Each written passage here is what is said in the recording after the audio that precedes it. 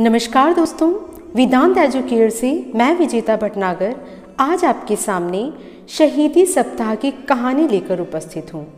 गुरु गोविंद सिंह जी, सिख समुदाय के विकास में बहुत ही बड़े एक गुरु माने जाते हैं। इन्होंने सिखों के लिए एक सैन्य लोकाचार की शुरुआत की, जिसमें सिख पुरुषों को हर समय तलवार रखने के लिए कहा गया। गुरु गोविंद सिंह जी जिनके पिता गुरु तेग बहादुर जी और माता गुजरी के एकमात्र पुत्र थे और इनका जन्म 22 दिसंबर 1666 को पटना साहिब में हुआ था। गुरु गोविंद सिंह जी सिखों के दसवें गुरु माने जाते थे। गुरु जी ने बैसाखी के दिन खालसा पंथ की स्थापना की, जिसमें सिख धर्म के विधिवत दीक्षा प्राप्त अनुयायियों को ही एक सामूहिक रूप में उपस्थित किया जाता था। गुरु गोविंद सिंह जी के परिवार के शहादत को आज भी इतिहास की सबसे बड़ी शहादत माना जाता है। धर्म व आम जन की रक्षा के लिए जो शहादत दी गई, ऐसी शहादत आज तक कभी सुनने को नहीं मिली। शहादत जो कि सिख परिवार ने दी। श्रद्धावान सिख नानक शाही कैलेंडर के अनुसार 20 दिसंबर से लेकर के 27 दिसंबर तक शहीदी सप्ताह मनाया जाता है और इन दिनों गुरुद्वारे से लेकर के घरों तक कीर्तन पाठ किया जाता है। 21 दिसंबर 1704 में मुगलों ने जब अचानक आनंदपुर साहिब के किले पर हमला कर दिया, तब गुरुजी ने सिखों के साथ आनंदपुर साहिब को तुरंत छोड़ दिया और वो वहाँ से निकल पड़े। ठीक 21 दिसंबर को, जब सभी लोग सरसा नदी को पार कर रहे थे, तब पानी का बहाव इतना तेज था कि उनका पूरा परिवार ही बिछड़ गया और बिछड़ने के बाद गुरुदेव व दो बड़े साहिबजादे, बाबा अजीत सिंह और बाबा जुझार सिंह जी, चमकौर पहुँच गए। और वहीं माता गुजरी और दोनों छोटे साहिबजादे, बाबा जोरावर सिंह और बाबा फतेह सिंह, वो अपनी माता के साथ, सेवक गंगू सिंह जी के साथ, अन्य सिखों के साथ अलग हो गए। बाद में गंगू साहब इन सभी को अपने घर ले गए, लेकिन गंगू साहब ने वज़ीर साहब को उनकी जानकारी दे दी, जिसके बाद वज़ीर खान ने माता गुजरी और दोनों छोटे साहिबजादों को गिरफ़्तार कर लिया। 22 दिसंबर, चमकौर की लड़ाई हुई जिसमें सिख व मुगल सामने आमने थे।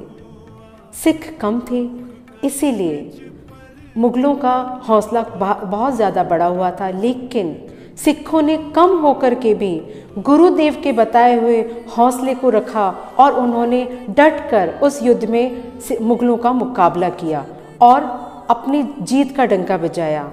23 दिसंबर युद्ध चलता रहा। दोनों बड़े साहिबजादे इस युद्ध में उतरे और वीरता का प्रदर्शन किया और अंत में वो भी शहीद हो गए।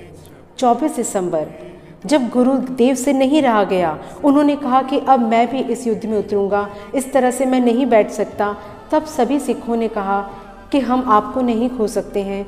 हम अपने बहुत सारे सिखों को खो चुके हैं। हमारा मार्गदर्शन कौन करेगा? तो आपको हम नहीं खो सकते हैं। हम इस युद्ध के लिए जाएँगे और आप यहाँ से निकलें। तब गुरुदेव को मजबूरन वहाँ से निकलना पड़ा और वहाँ पर जो सिख मैदान में लड़ाई कर रहे थे, वो उनके वहाँ से जाने के बाद शहीद हो गए। 25 दिसंबर की रात, जब गुरु गोविंद सिंह जी एक गाँव में पहुँचे तब वहाँ पर बीवी हर शरण कौर से उनकी मुलाकात हुई, जो कि उनको अपना आदर्श मानती थी। और जब उन्हें ये सूचना मिली कि छोटे साहिबजादे और कई सिखों की शहीदी हो चुकी है, तब वो वहाँ चमकौर जा कर के पहुँची उनका अंतिम संस्कार करने के लिए, क्योंकि अंतिम संस्कार करना ज़रूरी था। लेकिन मुग़ल ऐसा नहीं चाहते थे। वो चाहते थे कि उनको चील खौए खाएँ, लेकिन बीवी हरशरण कौर ऐसा नहीं चाहती थी और वो तुरंत चमकौर पहुँची और उन्होंने अपना काम शुरू कर दिया। उन्होंने सभी सिखों को इकट्ठा किया और उनका अंतिम संस्कार करना शुरू किया। जैसे ही वज़ीर खान को ये सूचना मिली कि इस तरह से हो रहा है तो वो वहाँ पहुँचे और उन्होंने उसी अग्नि में हरशरण कौर को डाल दिया और वहीं पर हरशरण कौर भी शहीद हो गई। 26 दिसंबर को सरहंद के नवाज़ वज़ीर खान ने माता गुजरी और छोटे साहिबजादों को, जोरावर सिंह और बाबा फतेह सिंह को ठंडा बुर्ज के नीचे खुले आसमान में कैद कर दिया और दोनों को बहुत ही मजबूर किया कि वो अपना धर्म परिवर्तन करें। लेकिन जब दोनों साहिबजादों ने इसके लिए इनकार कर दिया और जयकारे लगाना शुरू कर दिया तो उसने उनको एक दिन का समय दिया कि आज का टाइम है आपके पास। यदि आप हमारा धर्म कबूल कर लेते हैं तो आपको जीवन दान दिया जाएगा। अन्यथा, आप मरने के लिए तैयार हो जाएँ। इस पर वो दोनों साहिबजादे अपनी बात पर डटे रहे। उन्होंने कहा, हम धर्म परिवर्तन नहीं करेंगे। इसके बाद 27 दिसंबर को। माता ने उनको तैयार करके वापस से कचहरी भेजा और वहाँ पर जाने के बाद उन्होंने फिर से अपनी वही बात दोहराई कि हम अपना धर्म परिवर्तन नहीं करेंगे। उन्हें बहुत मजबूर किया गया मुगलों द्वारा, लेकिन वो अपनी जिद से टस से मस्त नहीं हुए। इस पर उन्होंने अपने जयकारे लगाना शुरू किया कि जो बोले सो निहाल, सत श्री अकाल। इस पर वज़ीर खान तिलमिला उठा और उसने तुरंत आदेश दिया और उन दोनों साहिबजादों को दीवार में चुनवा दिया गया। जब ये खबर माता गुजरी को मिली तो उनसे रहा ना गया।